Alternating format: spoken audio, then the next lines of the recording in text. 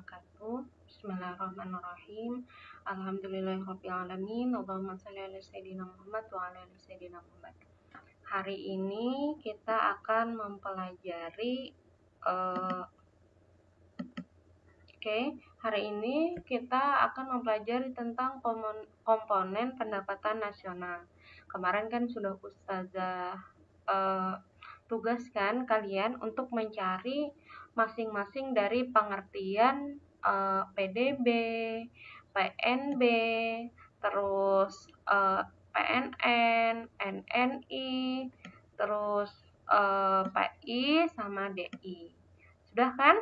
Nah, terus kemarin juga kita sudah membahas tentang rumus-rumus yang digunakan ketika kita mencari PNB di sini. Mencari PNN Oke, mencari nilai NNI atau PN.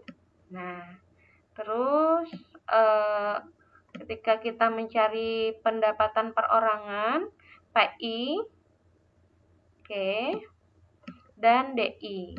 Nah, kalau secara eh, garis besarnya secara rincinya nih nanti pen, perhitungan pendapatan nasional itu uh, bisa dihitung dihitung dengan uh, cara seperti ini. Nah, cara seperti ini, Nak. Tapi kita akan menghitungnya per komponen, ya. Nanti kita belajar menghitungnya per komponen, kita mencari PNB, kita mencari PNN, kita mencari NNI, mencari PI, dan mencari DI ya. Oke. Uh, Oke, kita langsung saja ke contoh soal. Tunggu sebentar. Nah, di sini Ustazah contohkan ini uh, penerapan rumus pada komponen-komponen pendapatan nasional tadi. Nah, nah di sini yang pertama uh, berdasarkan data tersebut hitunglah besar nilai pendapatan nasional bruto.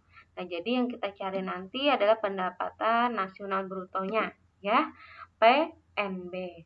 Nah, di sini diketahui uh, data ini dalam triliun Oke.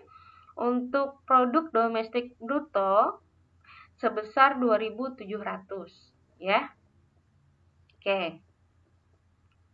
Uh, Oke, di sini diketahui uh, PDB-nya 2700. Ini Ustazah kelupaan di sini menuliskannya. PDB Oke. Maaf ya jika tulisan ustazah kurang rapi.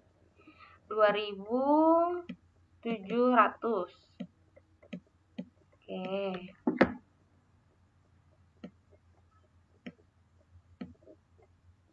Nah terus di sini juga diketahui pendapatan perusahaan asing di negara tersebut.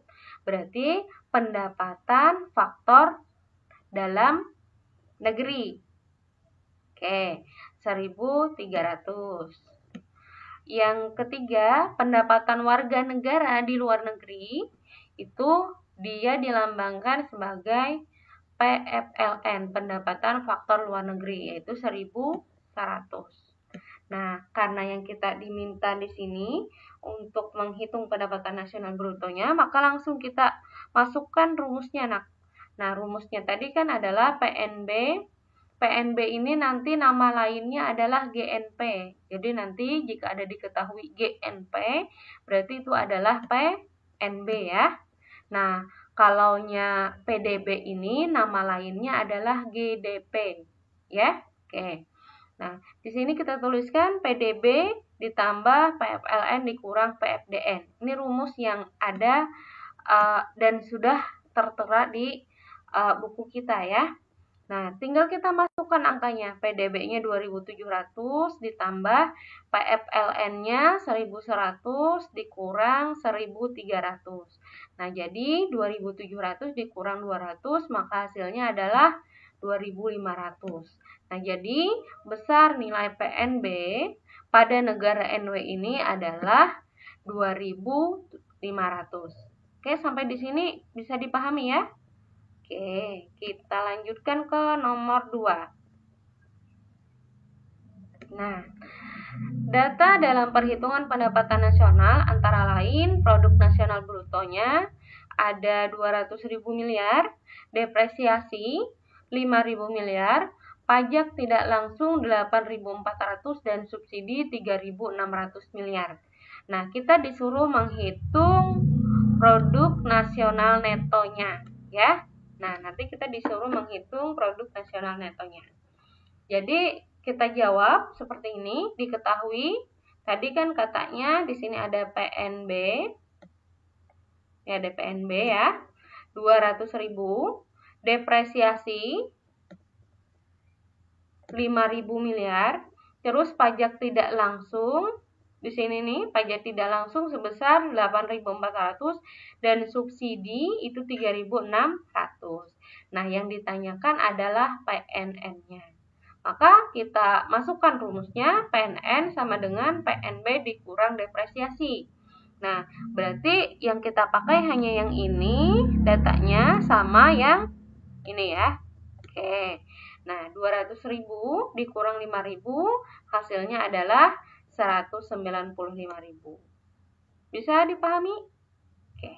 Kita lanjutkan ke nomor berikutnya, ke contoh soal berikutnya. Oke. Nah, diketahui data pendapatan suatu negara dalam miliar sebagai berikut. Nah, gross domestic product GDP. Nah, tadi kata Ustazah GDP ini sama dengan sama dengan apa? Dia sama dengan ya. Dia sama dengan Oke, tunggu sebentar. Dia sama dengan PDB. Nah, lah, ingati. Dia sama dengan Oke. Tunggu.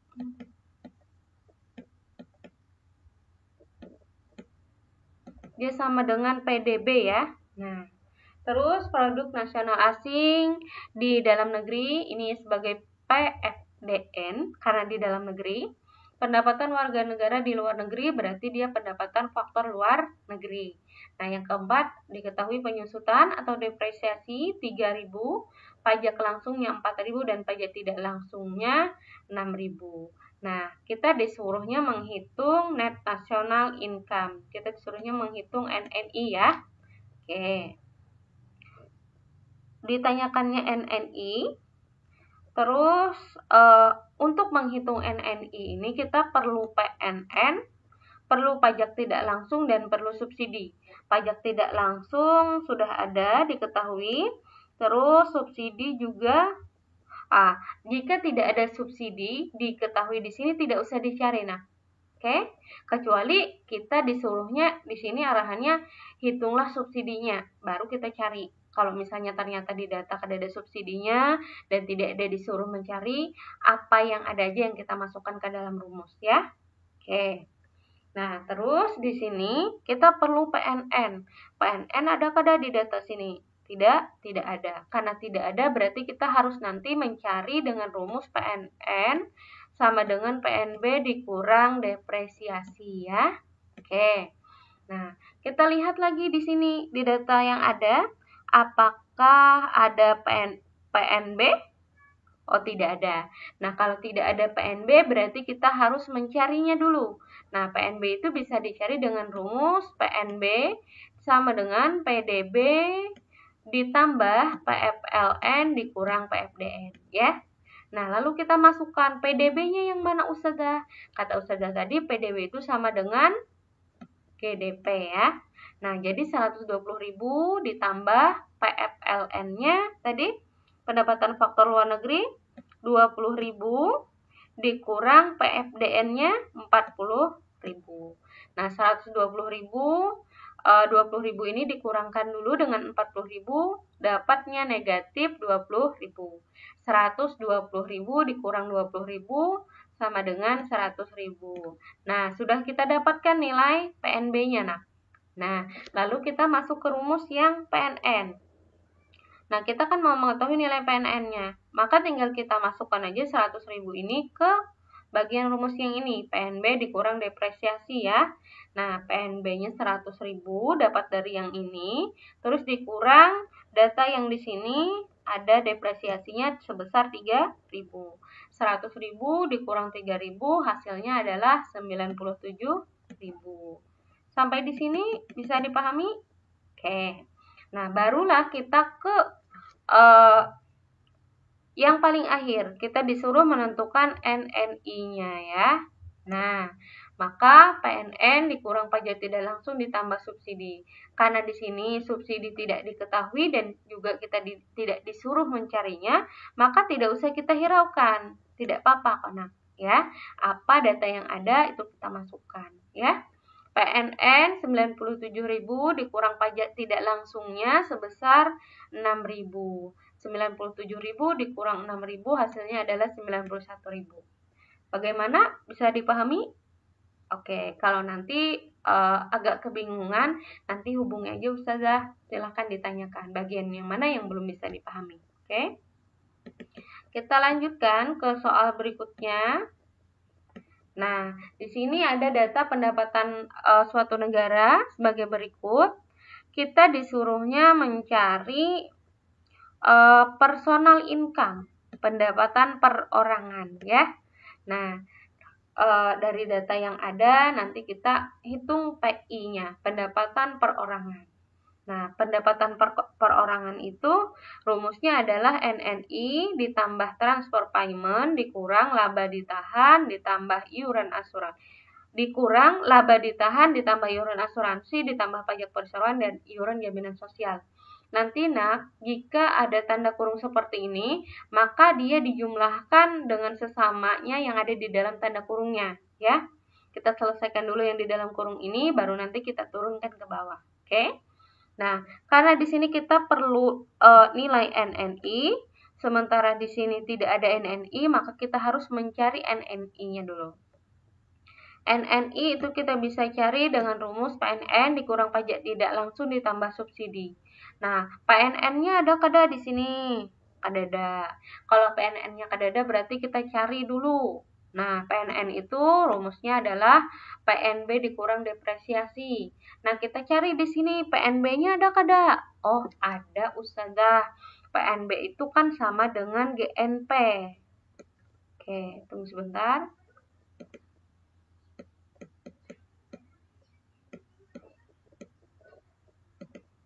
Nah, eh, PNB itu sama dengan GNP. Nah, nah oke. Okay.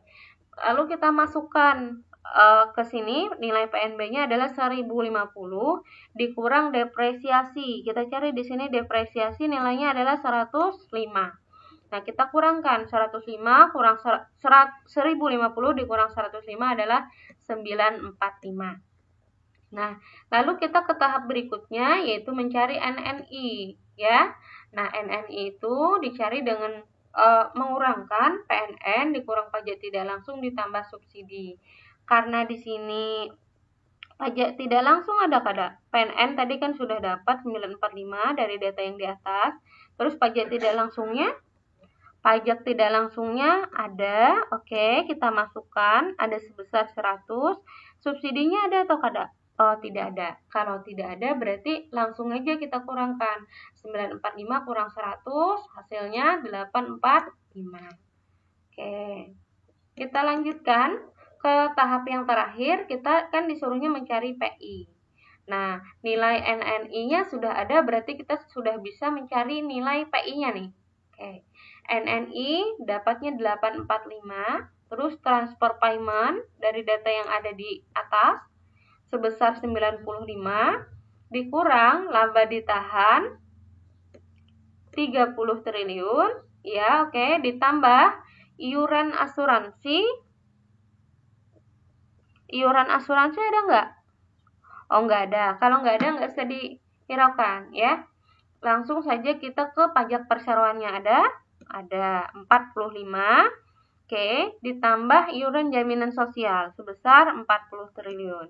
Nah, 40. Kita jumlahkan dulu yang ada di dalam kurung masing-masing. 845 kita tambahkan 95, itu hasilnya 940. Terus 30 ditambah 45 tambah 50 ditambah 40 itu hasilnya 115. Baru kita kurangkan ya. 940 dikurang 115 hasilnya adalah 825.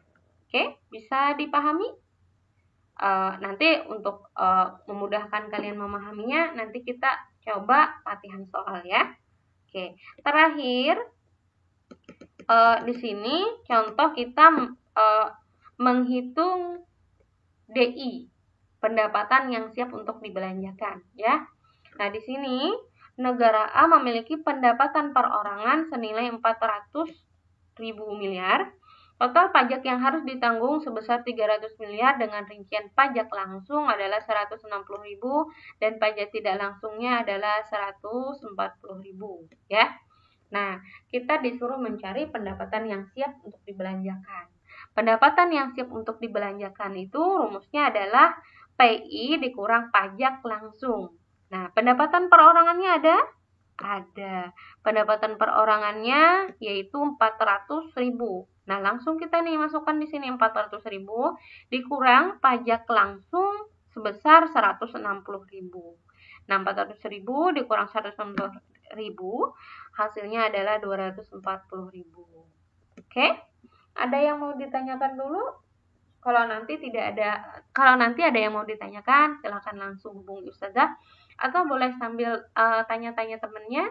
Insya Allah uh, ustazah uh, memberikan contoh yang mudah kok untuk diterapkan, terus insya Allah mudah kok dipahami. Jadi nanti jika ada yang belum paham, silahkan uh, tanyakan sama ustazah ya, agar uh, apa yang kita pelajari bisa kita pahami dan syukur-syukur nanti jika suatu saat bisa bermanfaat untuk uh, untuk ke depannya misalnya kuliah ngambilnya uh, jurusan ekonomi gitu. Lebih bisa uh, mudah nih ketika dapat tugas dari dosennya misalkan. Yang seperti ini uh, bisa menjawabnya ya. Oke sekian uh, untuk penjelasan penerapan rumus pada komponen-komponen pendapatan nasional semoga ada manfaatnya uh, jika ada kekurangan dari ustazah, uh, semoga bisa dimaafkan.